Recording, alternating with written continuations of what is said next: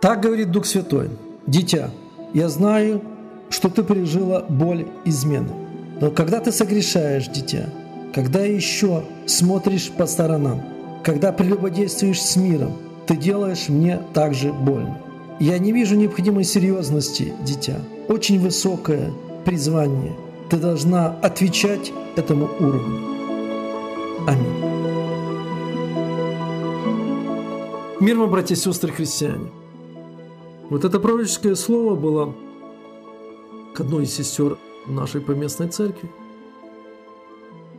И вот часто христиане, братья и сестры, когда согрешают, ну, не придают особого значения и нет той серьезности, как было сказано. Понимаете, вот как воспринимается измена? Если бы, например, муж сказал жене, жена заметила его в измене и говорит, почему ты изменяешь мне, он бы сказал, ну что ты хочешь?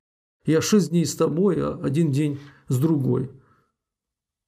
Я же больше с тобой. Понимаете? Вот так часто христиане рассуждают. Ну, все-таки я больше стараюсь жить свято, нежели там где-то согрешаю. А мы делаем Господу больно. Невеста, она не должна прелюбодействовать. Любовь к миру, связь с миром, дружба с миром, как было сказано.